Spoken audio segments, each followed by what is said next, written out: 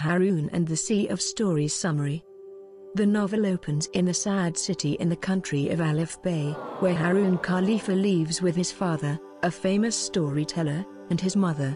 One day, Haroun arrives home from school to learn that his mother has run off with his upstairs neighbor. This neighbor had often been critical of Haroun's father, Rashid, because he did not understand the usefulness of stories. In anger, Haroun assails his father for the uselessness of his stories. This crushes his father. Haroun finds it difficult to concentrate on schoolwork and so his father decides to take him on a storytelling job he is performing for some politicos in the land of G and the Valley of K. When Rashid attempts to tell his stories, however, no words come out, and the politicos get very mad. Haroun and Rashid board a mail bus bound for the Valley of K. It is driven by a parrot-looking man named Butt who stutters and speaks in riddles. Rashid makes a deal with Butt to drive them on the dangerous road between the land of G and the Valley of K. Butt drives dangerously and Haroun is worried that he will die. When they reach the beautiful sights of the Valley of K, Rashid tells Haroun that it all reminds him of Khattam-Shud, an ancient concept that means silence. When they reach K, Haroun and Rashid meet Mr. Buttoo, the politician, who takes them to his boat on the Dull Lake.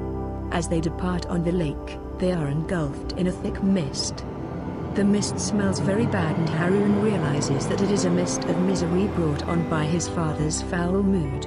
When the sea begins to rock, Haroun tells everyone to think good thoughts, and when they do, the sea calms. Haroun and Rashid reach the yacht that will take them to their destination the next day. The yacht is very luxurious, but both Rashid and Haroun have difficulty sleeping. Just as Haroun dozes off, he hears a noise in his bedroom. He finds an old man with an onion-shaped head, who disappears as soon as he sees Haroun. The old man drops wrench, which Haroun confiscates. The old man materializes and tells Haroun he is Iff the water genie, and he must have the wrench to turn off the story stream for his father, Rashid. When Haroun protests, Iff tells him to take it up with the walrus in Gup City, Kahani. Haroun demands that the water genie take him there, and Iff reluctantly concedes in order to get his wrench back from Haroun. The genie tells Haroun to pick a bird and give it a name and it will materialize. He pulls out a handful of tiny magical creatures, Haroun picks the hoopoe and throws it out the window and into the water where it balloons into a huge bird. They climb on its back and accelerate into space. The hoopoe looks like Mr. Butt, so Haroun names it Butt the Hoopoe. They are able to communicate telepathically. But the hoopoe lands on the Sea of Stories of Kahani, Earth's second moon, which moves so fast it is undetectable by human instruments. It evenly distributes story water across the earth. They land in the ocean so that Iff can give Haroun wish water and hopefully bypass meeting the walrus. Haroun drinks the wish water and wishes for his father's storytelling to return. He can only focus on an image of his mother, however, and after 11 minutes, he loses his concentration. Iff then gives Haroun a cup of water from the sea that contains a story, Haroun drinks it and then finds himself looking through the eyes of a hero in a princess rescue story. As the hero climbs the tower to rescue the princess, he turns into a spider and princess hacks away at him until he falls to the ground. When Haroun wakes from his story, Iff tells him that someone named Khattam-Shud is poisoning the stories. Haroun, Butt the Hoopoe, and Iff the water genie fly to the land of Gup, where they meet Mali, the water gardener, and the Plentimaw fishes. The entire land is preparing for war. The Chupwalas have stolen Princess Batcheat from Gup. In addition, they have polluted the Sea of Stories so that many do not make sense anymore. Prince Bolo, General Kitab, and the Walrus announce their plans for the water the pages of the Guppee Library, or army. They bring in a spy with a hood over his head. When the hood is removed, Haroun sees his father, Rashid tells everyone that he transported to Kahani and was in the Twilight Strip when he saw the Princess Batcheat captured.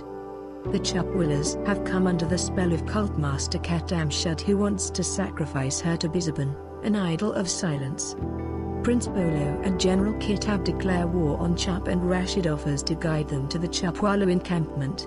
One of the soldiers in the army, Blabbermouth, takes Haroun to his room. They become lost and Haroun knocks the hat off Blabbermouth's head.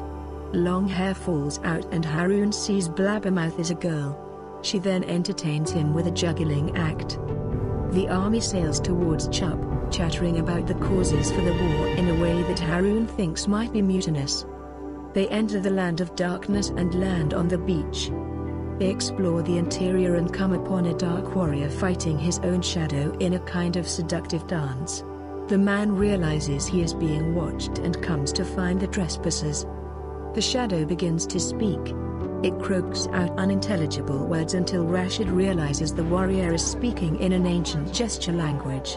Rashid interprets the warrior's talk. His name is Mudra and he had been second in command in Chup. He is now fighting against Khattam-Shud in order to bring peace back to Chup. Mudra agrees to help the Guppees defeat Khattam-Shud. Haroun volunteers to spy for the army because of his love of stories. He, Iff, Butt the Hoopoe, Mali, and the Plentimaw fishes begin to trek towards the old zone. The water becomes so poisonous that the fish cannot go on. The remaining crew is suddenly ambushed and captured in nets. They are taken to a giant, black ship. On the deck are cauldrons of poison. To Haroun, it looks like everything is impermanent, like a shadow. Khattam-Shud appears and he is a tiny, weaselly, measly man. Haroun realizes that this is Khattam-Shud's shadow that has detached from its owner. The cult master tells them that stories are inefficient and useless and that is why they are being destroyed. The ship's hull is full of darkness and machines too complicated to describe. The cult master shows them where they are building a great plug to seal the story source at the bottom of the sea. Haroun sees roots growing through a port window and Mali appears, latching onto the generators and breaking the machines. Haroun breaks free, puts on a protective wetsuit, and dives down into the sea where he sees the plug being constructed. He returns to Butt the Hoopoe and takes out a vial of wish water given to him by Iff. He drinks it and wishes that the axis of Kahani would spin normally. A few minutes pass and then the entire land is bathed in sunlight. All of the shadows on the ship begin to fade away and soon everyone is free and the poison is destroyed. In Chup, Khattam-Shud sends an ambassador to the Guppee army. The ambassador begins to juggle and pulls out a bomb. Only Blabbermouth's quick action keeps everyone from being blown up, but it is revealed that Blabbermouth is a girl in the process. Bolo tries to fire her, but Mudra asks her to be a part of his army because of her bravery. The battle between the army commences. Because the Guppees have had such open and honest communication, they fight as a team. The Chupwalas, because of their silence, distrust each other. The Guppee army overwhelms the Chupwala army. As the battle ends, there is a great earthquake and the moon begins to spin. The statue of Bezaban falls and crushes the real Khattam-Shud.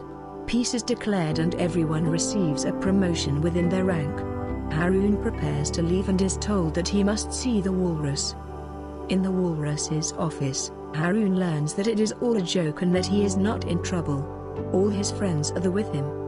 The walrus tells him that for his bravery he is to be given a happy ending to his story. Haroun doubts that this is possible, but he wishes for his city to no longer be sad. He wakes up back in the Valley of K where his father is preparing his political story.